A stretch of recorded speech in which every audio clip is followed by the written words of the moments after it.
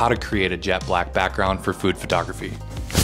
Number one, use a dark background. Seems obvious, I know, felt like I needed to say that. Number two, position your flash or light source to the side of the food or drink you're shooting. Number three, block the back half of the light source with a black foam board. If we don't block any light at all, that light is going to spill onto our background. We want to prevent that spill from happening and block the light. Number four, use negative fill or black foam boards opposite of your light source. This will prevent any unnecessary light spillage onto your scene. Using a black background will help the lighter elements in your scene and in your food pop. Now you're absolutely telling me